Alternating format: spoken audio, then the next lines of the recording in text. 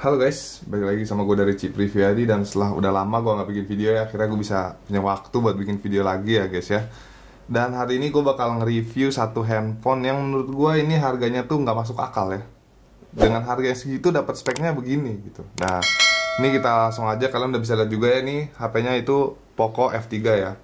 Mungkin sebagian besar kalian pasti udah tahu HP ini karena sudah banyak juga yang review dan gue agak telat tapi gue baru bisa dapat review sekarang dan ya kita lihat aja gimana unboxingnya ya. Jadi gue bakal bikin dua bagian ya. Jadi di sini unboxing doang dan sekilas impresi gue tentang handphone ini dan selanjutnya bakal gue bikin review lengkapnya setelah gue pakai handphone ini selama mungkin sekitar 2 atau 3 minggu ya. Jadi lebih lengkap lagi reviewnya secara lengkap. Nah, pertama kita lihat ini depannya polos ya.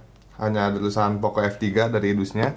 Dan ini yang 8 yang RAM 8 dan storage-nya 256 GB ya. Nah, ini yang warnanya blue. Nah, kita lihat dulu dari boxnya di sini. Oh ya, di HP ini tuh yang bikin menarik tuh dengan harga yang cuma 5 jutaan ya. Nanti gua bahas lagi harga spesifiknya berapa. Dia tuh udah bisa dapat Qualcomm Snapdragon 870 di mana ini adalah prosesor kelas flagship yang lumayan tinggi dan dan selain HP ini yang menggunakan Snapdragon 870 harganya tuh nggak ada yang hanya 5 jutaan. Dan satu lagi layarnya yang gue paling menarik di sini prosesor dan layarnya itu layarnya di sini udah AMOLED dan 120 Hz dan memiliki lebar itu 6,67 inci. Itu sih yang pertama kali bikin gue pincut buat ngelihat HP ini karena dengan harga segitu udah dapat prosesor ini dan layar 120 Hz. Nah, itu tuh gue udah wow gitu kan AMOLED lagi gitu kan layarnya. Nggak lama-lama kita langsung aja unboxing deh ya. Nih, unboxingnya pakai ini. Kita unboxing langsung. Agak susah sih guys ya waduh robek. Jelek amat guys jadinya. Ya udah lah ya. Yang penting kan kebuka. Langsung buka aja begini ya. Barbar kali bukanya ya. Tahu ah. Dah begini kan tiga sisi ya. Langsung aja handphonenya. Ada sini agak keras nih. Masih baru soalnya guys masih fresh. Oh iya ada segelnya sini kan. Kebodohan ini ada segel dua sini ya jadi kalian harus buka dulu segel ini kalau mau buka. Nah itu kan udah bisa kebuka. Itu lagi sip. Belum. Dah. Udah buka dua-duanya langsung aja kita buka handphonenya gini ya. Ini agak ketan ya jadi tinggal diturunin ke bawah gini. Maaf ya unboxingnya agak ngawur ini ya. Kayaknya nggak rapi soalnya. Yang penting ah, susah amat ini. Unboxing handphone doang. Nah Sabar guys, maaf guys, maaf maaf harus agak lama ini. Ini sensasi unboxing yang lebih seru guys, jadi real gitu kan. Biasanya unboxing unboxing lain tuh kurang real. Ini struggle is real gitu. Beneran beneran begini unboxing HP-nya begini susah. Nah, ternyata segel ada yang belum kecopot dikit. Nah, langsung aja. Nah, pas buka handphonenya kita langsung ketemu udah sama ininya. Ini plastiknya kita singkirin aja. Karena nggak ada yang mau plastik, cuma mau handphonenya. Nih ada foto Babang. Babang Alvin Se ya. Ngantang ini pakai terima kasih telah memiliki memilih Poco ya. Kalian bisa lihat aja. Dan sini langsung kita dapat lihat tulisan Poco berwarna kuning. Nah warna kuning ini ya Poco banget lah. Dari dulu mereka juga brandingnya selalu kuning-kuning begini.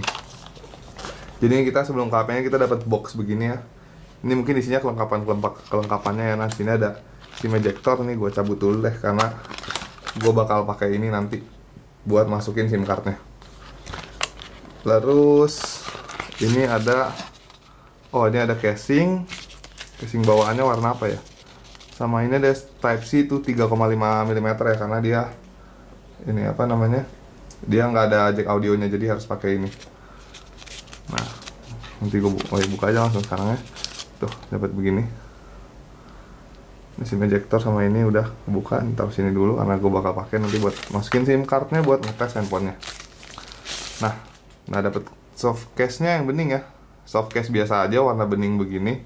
Ya standar lah HP Xiaomi dapatnya case nya begini-begini. Setidaknya ada buat melindungi daripada nggak ada sama sekali.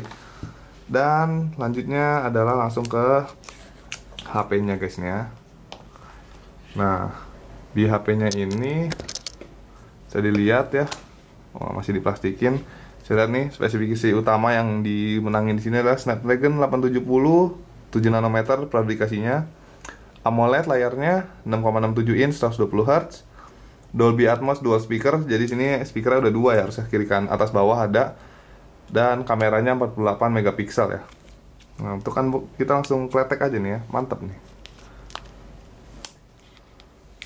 Ah itu dia guys. Nah ini HP-nya keren.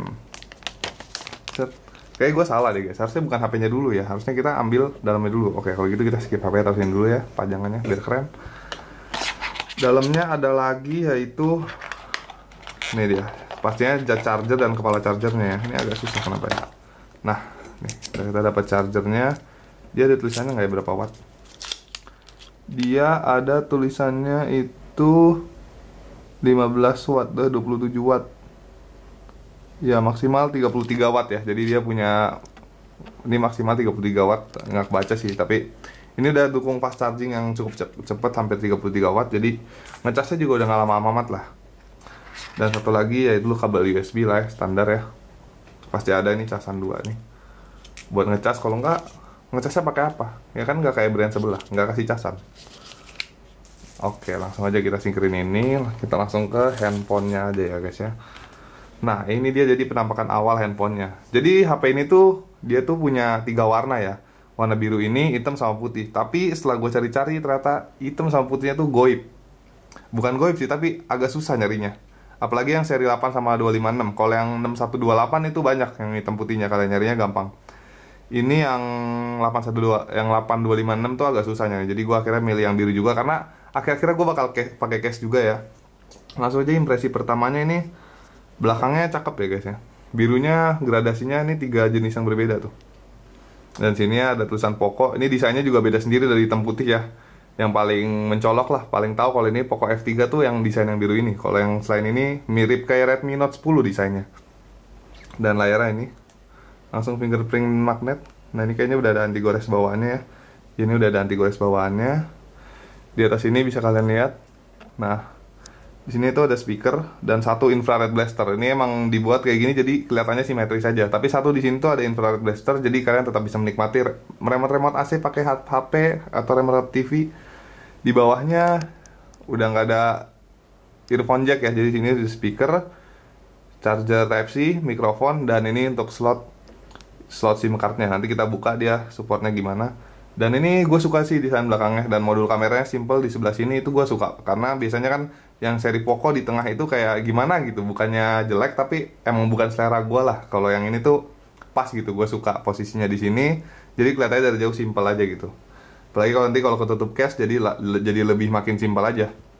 Nah langsung aja kita cek. Tadi kan gue udah keluarin ini SIM card ejectornya ya.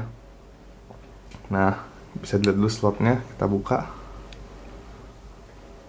Nah jadi di sini itu support dual sim ya tapi nggak bisa nggak ada SD card lagi jadi kalian benar-benar harus pilih yang mana yang kalian butuhin ya.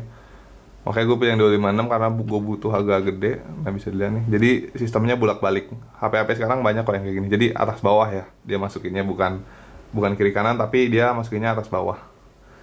Nah langsung mungkin dimasukin aja kali langsung ya pakai SIM card gua.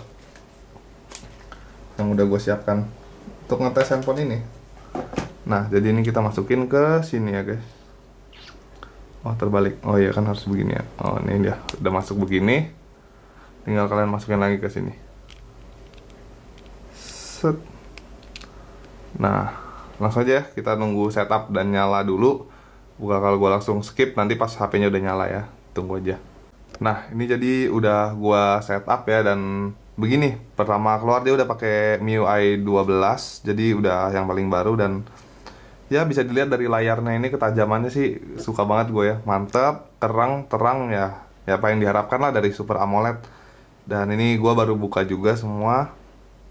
Jadi awal-awal dia bakal begini pas awal-awal nyala di sini gue nggak bisa review banyak karena gue belum pakai tapi nanti gue bakal bikin video reviewnya setelah beberapa lama gue pakai untuk kasih kalian gimana review gue mengenai handphone ini apakah baterainya oke untuk gaming oke dan untuk multitasking sehari-hari oke dan nanti gue bakal coba gimana review lebih lengkap lah untuk kamera segala macam. Nah ini contoh buat kameranya dulu aja ya. Pakai ini aja. Lo sing di app kita coba. Kalau fotonya sih kayaknya ini sih bagus sih kalau cukup cahaya ya. Saya lihat tuh fotonya. cukup tajam kalau misalnya cukup cahaya karena gue kan pakai lighting jadi cahayanya cukup ya. Ini contoh kamera belakang. Ntar gue bakal review lebih lengkap untuk video segala macam ini untuk unboxing itu aja sih dan dia baterainya 4500 mAh ya 4520 lah lebih spesifiknya. Harusnya sih ya standar lah untuk HP-HP zaman sekarang segitu mah standar nggak bisa dibilang gede lagi karena itu emang udah standar semua HP dan dia biarpun layar udah Super AMOLED tapi fingerprintnya masih di samping ya belum ada in apa namanya in display fingerprint. Mungkin ini yang bisa bikin harga dia murah juga karena ya pakai teknologi teknologi yang sudah ada di masa lalu. Nah ini jadi fingerprintnya cepet juga tuh. Nah tuh cepet. Nah jadi gue setup fingerprintnya oke di sini ada tombol volume. Di sebelah sini kosong ya nggak ada apa-apa. Ini gue udah pakai case biar nggak fingerprint magnet karena yang belakang ini lumayan fingerprint magnet magnetnya ya. Jadi lebih cepet kotor lah. Ini gue masih setup setup. Bisa kalian lihat di sini setupnya kita lihat general infonya dulu. Nah dia MIUI nya dapat MIUI 12.0.2 ya bisa dilihat di sini untuk ininya gue cari dulu ya generalnya. Apa androidnya? Ini layarnya halus sih dia pakai udah 120 Hz enak banget lah dilihat mata. Mungkin di kamera nggak kelihatan ya karena emang ini kan harus settingan juga. Tapi kalau kalian ini udah enak banget lah. Lebih halus dari 60 Hz jauh. Kalau kalian yang nggak pernah pakai HP 120 Hz atau nggak pernah lihat layar 120 Hz atau 60 Hz ke atas pasti kalian ngerasain bedanya jauh. Karena enak banget halus banget gitu. Jadi mungkin kalian kalau mau coba-coba HP yang lebih layarnya lebih bagus ya silahkan karena itu beda jauh sih. Nah ini di mana ya? Gue jadi kebaikan ngomong jadi lupa di mana ininya. Coba gue lihat about phone-nya Android versionnya dia udah Android 11 ya? Sini Android 11 all speknya RAM 8 GB benar. Nah ini semua udah sih internalnya 256 GB nah paling untuk sementara itu aja sih. Untuk kesan pertama gue sih ya balik lagi dengan harga yang 5 jutaan ya. 5,4 lah sekarang 5,4 sampai 5,5 dapat HP Snapdragon 870 yang kelasnya tuh kelas flagship ya. Dan bukan bukan flagship lama, flagship lama tapi ya Snapdragon apa prosesornya tuh prosesor baru masih tahan. Apalagi nih HP baru rilis di Maret 2001 kemarin jadi masih baru banget ya. Ini HP dan apalagi layar Super AMOLED yang dari first impresinya aja ini impresi awalnya sih ini bagus banget. Maksudnya ya AMOLED pada umumnya lah cakep dan layar 120 Hz nya di mana lagi kalian dapat Snapdragon 870 layar Super AMOLED 120 Hz dual speaker juga bahan belakang kaca nih. Depan belakang nih udah pakai kaca deh jadi kalian nih udah pre, udah premium premium banget lah nih kesannya semua HP-nya cuma 5 jutaan bukannya bilang 5 jutaan murah ya tapi dengan apa yang ditawarkan emang nih Xiaomi itu emang udah nggak ada obat gitu. Gila banget bisa ngasih ngasih begini. Makanya tadi gue nyari yang hitam putih aja sampai susah nyarinya karena ya emang selaku itu HP-nya sih. Yang nggak goib goib amat cuma emang laku banget. Makanya agak susah buat nyari warna hitam putih karena emang hitam putih sih simple dan bagus sih. Dan yang ini yang birunya ya keren juga cuma mungkin agak norak mungkin buat beberapa orang. Tapi ya nanti kalau gue kan emang pakai case lagi pasti gue beli case yang warna gelap dan ketutup jadi ini nggak masalah buat gue jadi kira-kira gitu aja sih. Buat impresi pertama gue tentang Poco F3 ini nanti gue bakal review bikin reviewnya setelah 3 sampai satu bulan pakai lah. Nanti kalian coba di komen aja ya apa aja yang mau kalian tahu dari handphone ini. Mungkin nanti gue juga bisa masukin ke review gue dan tetap tonton channel gue dan jangan lupa subscribe like dan terima kasih udah bisa bantu channel gue ke 1000 subscriber. Dan gue yakin bakal lebih lagi. Dan see you in the next video. Bye